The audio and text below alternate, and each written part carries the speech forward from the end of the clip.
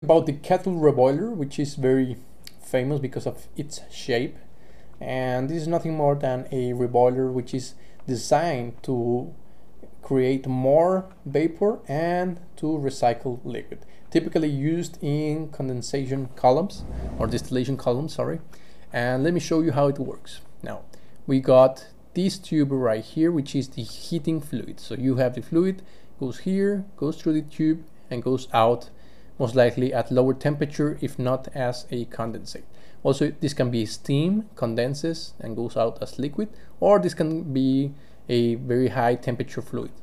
Whatever you choose, it goes here, it goes back. Remember that all this heats the outside fluid. Now let's talk about the outside fluid. We have this section right here in which the liquid is present right here. It goes down it has the opportunity to go here and it achieves a certain level. This is the weir, which is essentially a, let's say a wall which separates the vapor. Now, we should have a retention time in order to ensure that the time required for evaporation is given. So many vapor will be formed and the vapor will be going through this tube or pipe right here, goes back to the distillation column and will eventually go down if you condense it it condenses and you repeat. If it evaporates, then you're done. Now remember guys that this continuous state, therefore some liquid will be going out, out, out. In this specific case, we are going to have a bottom product and a distillation product.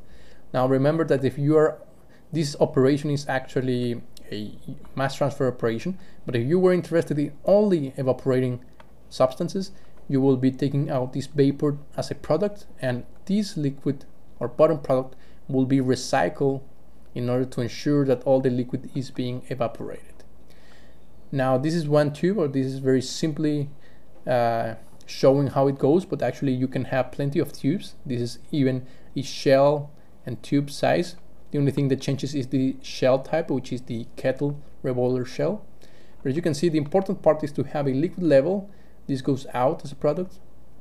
This is rich if you're talking about concentration, this rich in concentration, the vapor is also, let's say, lower in concentration and it recycles.